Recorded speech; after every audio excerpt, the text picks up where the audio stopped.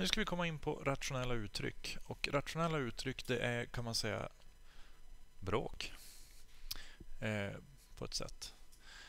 Och Vi ska börja med förkortning och förlängning. Och Då är det så här att om vi har två stycken polynom där uppe och där nere. Vi kallar ett för p och ett för q. Och Polynom kommer vi ihåg nu att det kan ju vara eh, till exempel x3 plus 2x2 plus x. Till exempel. Det är ett polynom. Det vill säga flera olika termer av olika grad. Då, om vi har de här som ett bråk, två polynom som ett bråk, då kallas det för ett rationellt uttryck. Så det ska vi jobba lite grann med nu. Och då har vi någonting som är centralt i det här att rationella uttryck kan bli så att de inte är definierade ibland. Och Det låter ju väldigt krångligt, men det är inte så krångligt egentligen. Utan om vi har ett rationellt uttryck, 2x3 delat till x minus 3. Och så är frågan, när är inte det här definierat? Och Då kan man säga så här att inte definierat det är när nämnaren är noll. Så det är det vi ska kolla.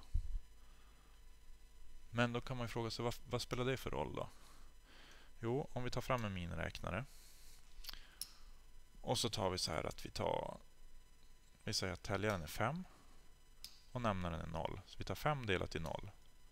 Hur mycket blir det? 0? Nej, det stämmer ju inte. Den här räknaren är lite konstig, för ofta blir det att det står error eller fel eller något sånt. Och Det beror på att man kan inte räkna ut det. Man kan inte räkna ut vad 5 delat till 0 är. Eller vad som helst delat till 0 går inte. Så om vi har det här exemplet nu igen. Det här rationella uttrycket har vi. 2x3 delat till x minus 3. Och frågan är när är det här uttrycket inte definierat? För vilket x är det inte definierat? Ja, men då kollar vi bara. När blir det här 0?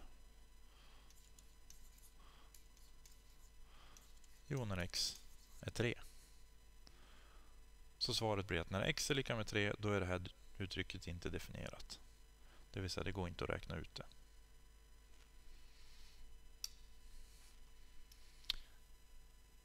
Så då ska vi ta ett exempel och räkna på det här. För vilka värden på x är uttrycket inte definierat? Vi har 2 delat till x plus 1. Och hur var det vi skulle göra nu då? Jo, vi skulle ta nämnaren skulle vara 0 x plus 1 ska vara lika med 0. Ja, vi flyttar över x är lika med minus 1. Så när x är minus 1, då är uttrycket inte definierat. Sen kan de ju vara lite knepigare. Men samma sak fortfarande, det är nämnaren vi kollar på. Nämnaren ska vara 0. Och hur löser vi den där? Ja, vi flyttar över igen. Behöver inte göra PQ här. x2 är lika med 4. Det betyder att x är lika med plus minus 2. Om, om vi skriver så eller om vi skriver så här. Spelar ingen roll. Så uttrycket är inte definierat när x är minus 2 eller 2.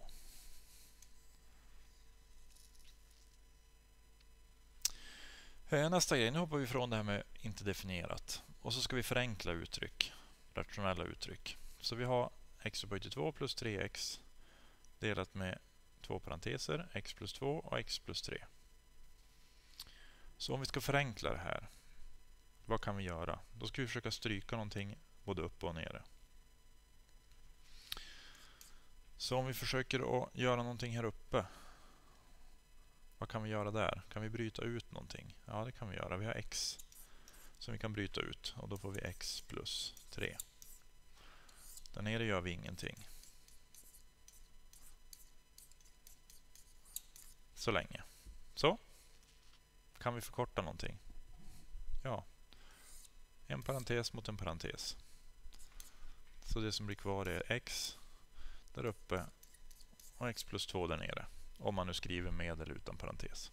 Valfritt. Så det är ett sätt som man kan förenkla rationella uttryck på.